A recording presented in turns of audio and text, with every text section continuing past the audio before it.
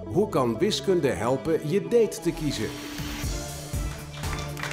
Dit is de Universiteit van Nederland.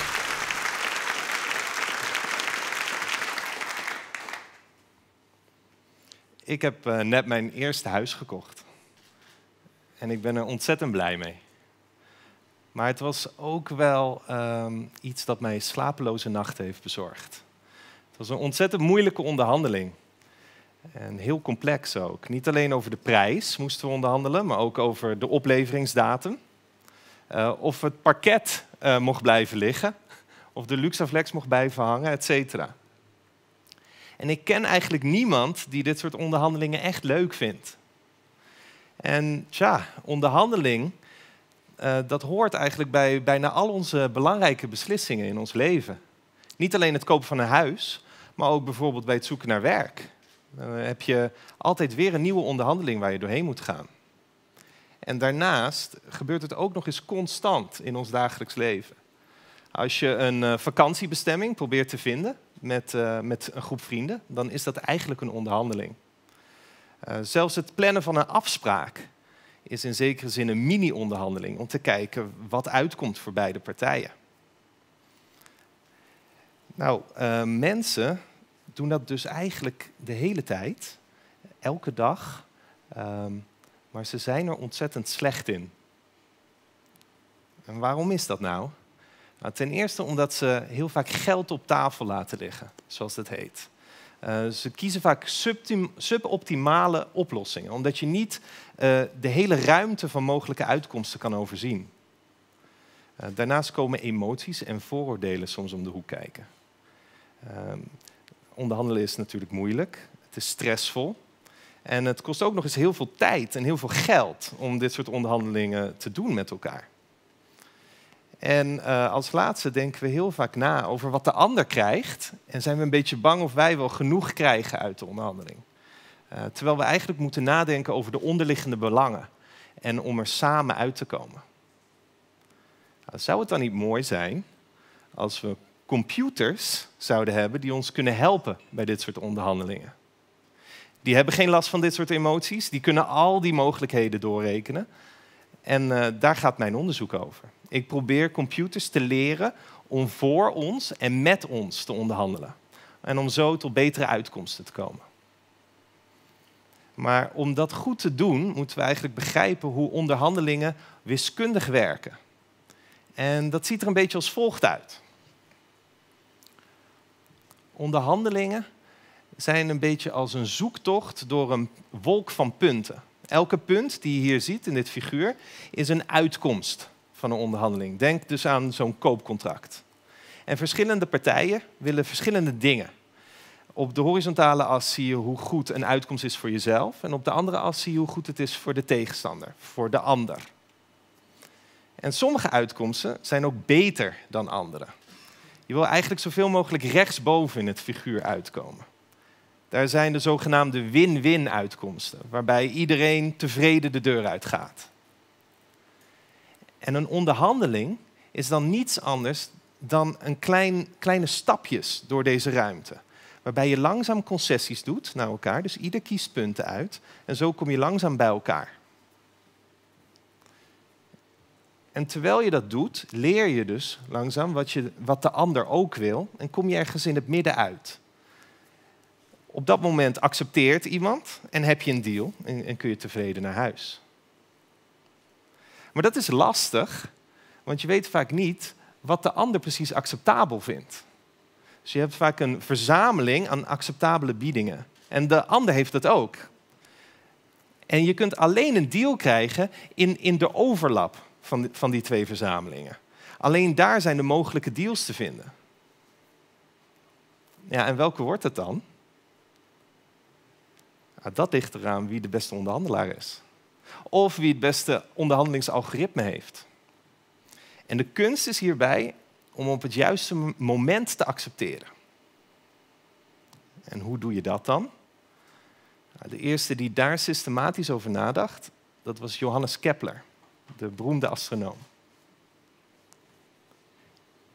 In 1613 schreef hij een brief aan zijn vriend Stralendorf met een uh, probleem dat hij had. Uh, zijn vrouw was een uh, jaar daarvoor overleden aan cholera. Maar gelukkig stonden er elf huwelijkskandidaten in de rij. Hij, hij was al een beroemd astronoom. En Kepler was ook een gentleman. Hij wilde eigenlijk elke kandidaat één voor één interviewen en onmiddellijk beslissen of dat zijn vrouw zou worden. Of om onmiddellijk nee te zeggen en door te gaan met de volgende. Het moest dus niet een soort groepsgesprek worden met, met alle kandidaten. En zijn probleem was dat hij eigenlijk één van de kandidaten al ontzettend leuk vond. Een van de eerste die hij tegen was gekomen. En hij vroeg in de brief van Stralendorf, wat moet ik nu doen? Moet ik nu accepteren of niet?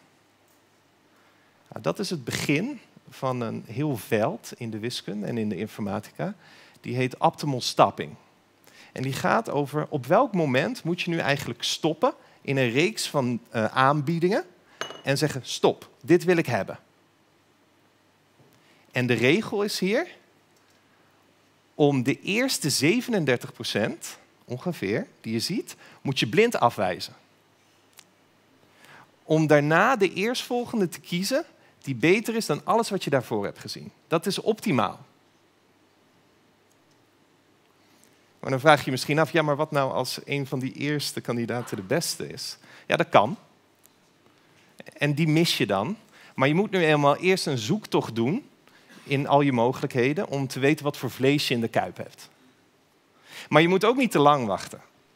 Dan krijg je het zogenaamde Sex and the City syndroom. Dat je van kandidaat naar kandidaat hoppend telkens een eigenschap ziet die je eigenlijk heel graag zou willen hebben in je droomkandidaat.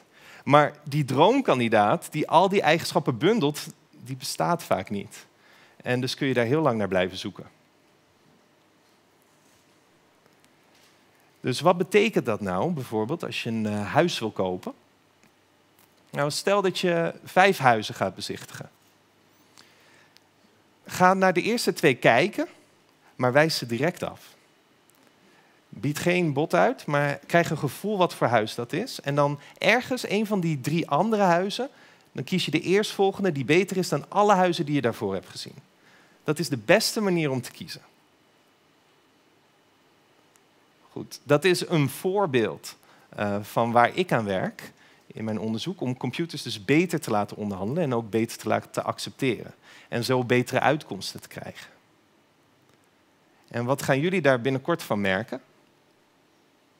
Nou, ten eerste een goed voorbeeld is uh, zelfrijdende voertuigen. Uh, zelfrijdende voertuigen zullen geen stoplichten meer nodig hebben, zoals wij. In plaats daarvan zullen ze onderhandelen wie er voorrang heeft op een kruispunt. Als jij dan ontzettende haast hebt, dan zou je kunnen betalen aan je medeweggebruiker om voorrang te krijgen. Een ander voorbeeld is het uh, onderhandelen over duurzame energie. Zou dat eerlijker kunnen en zou je misschien je zonnecellen kunnen delen met je buurman? Dat is iets waar ik aan werk nu bij het CWI. En ook het kopen van een huis.